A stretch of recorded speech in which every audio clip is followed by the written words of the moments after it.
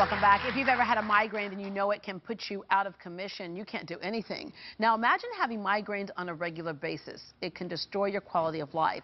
With the procedure we're about to explain, patients have gone from hopeless to full of hope for a better life.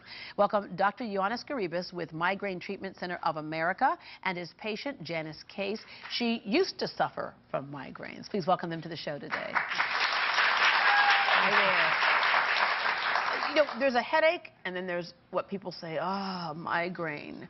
Can you define, is there a, a, a line between the two?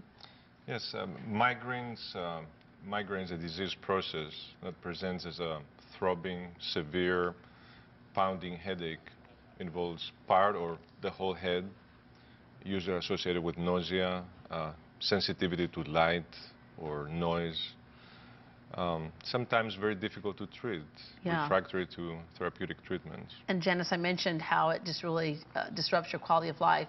I had a coworker who suffered from the migraines, and there are people who would say, oh, she has another headache. It, for people who actually suffer from it, it, it really is a serious situation. Yes, yes, it definitely And so is. what was your life like, or what was it not like because of these migraines? Well, my earliest childhood memories were of migraines, walking home from school and crying because I hurt.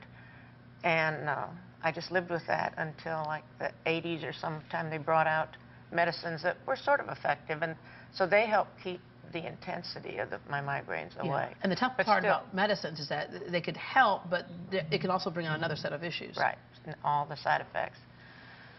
And uh, I finally found a medicine that did sort of work, but my neurologist told me I couldn't use it anymore because it was going to cause permanent liver damage. Mm. So he said, how aggressive do you want to be in treating them? And I said, I don't know what my options are. So he immediately picked up the phone and called Dr. Skaribas. Yeah, it's like, Dr. Skaribas, we're going to talk about this device right here and what it does, but um, how does it work in the brain and, and who qualifies for something like this? This is a device that works through uh, peripheral nerve stimulation in the head. So the procedure involves um, bilateral supraorbital and occipital uh, stimulation combined. Um, candidates for the procedure are patients that uh, don't respond to any other treatments. So this is uh, reserved for uh, patients that have severe symptoms, usually headaches on a daily basis, that uh, medications don't work, um, or other interventional procedures don't work.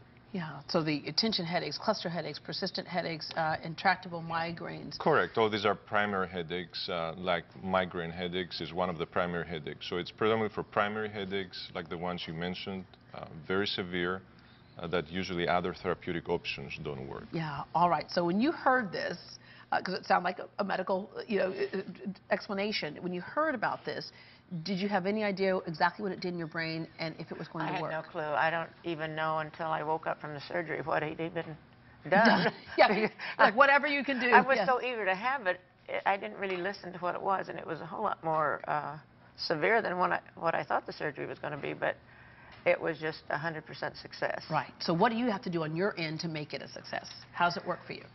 Uh, I have a, a battery that I have to keep charged all the time. Mm -hmm.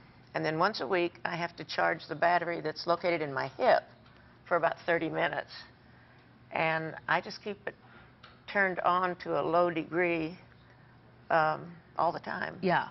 And I have not had uh, even a hint of a headache since. That's amazing. Since March the 9th. That's amazing. Like your doctor asked you, how serious are you about finding something to get rid of these headaches? Uh, and you have the surgery, but the surgery compared to what your life is like now a great payoff for oh, you. Oh, it was so well worth it.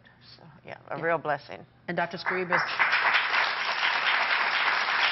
I would imagine you have a lot of patients like her who have gone through a lifetime uh, and missing out on things. You can't plan a vacation. Yeah. You can't, there's just so many things that you can't do that a lot of us take for granted right. who come back to you and think, are you kidding me? So this worked? It does work, and yes, the, the headaches in general affect 12% of the U.S. population. So it's a, it's a huge health and socio socioeconomic uh, problem. So this works. Uh, it works very well. It's not for everyone. Uh, it's for patients that other treatments don't work, but it's very successful. Yeah, so you do a trial for three or four days. You do a trial. The trial is a test. You temporarily uh, implant these electrodes. Uh, this is superficial. It's not going to the brain. It's uh, um, superficial procedure under the skin above the nerves that cause all these headaches. And if it, the trial is successful, then uh, you consider the patient as a candidate for the permanent implantation. All right, and that, that means she'll have this for the rest of her life. Correct. Do we know what causes migraines? The answer to your question is no. I don't think anyone has the answer to that uh, yet. Uh, in the old days, we thought that migraines uh, were a result of uh, vascular abnormalities. Migraines, as I told you earlier, is a disease process which, at this point, we think uh, has to do more with the brain more than anything else, Right. and um, uh, anything from genetic conditions. So there is no answer as of yet as to what causes migraines. But it's- luckily, this is an answer for a lot of people to get rid of those migraines. Yes. Let me ask you, Janice, what's the, the- the thing that you love to do now that you couldn't look forward to always doing before? Well, I think the, the most important thing is just I can now make plans in advance. You could be here today. Yeah, because, you know, six months ago, I couldn't have promised you I would show up. Hmm. Well, congratulations, Dr. Skaribas. Thank you very much for telling us about this. To schedule your appointment and to learn more about Migraine Treatment Center of America, you can log on to houstonmigraine.com, houstonmigraine.com. You can also call them at 713-893-5292, 713-893-5292 for a free phone consultation with a patient coordinator to see if you are a candidate for the Omega procedure and get your life back. Well, there's a storm brewing, but we're not talking about Tropical Storm Debbie. We're talking about the silver tsunami, the phenomenon where seniors are living longer, staying more active, and just having a plain old good time. When we come back, you'll meet some of those seniors and learn about a community that keeps them young at heart.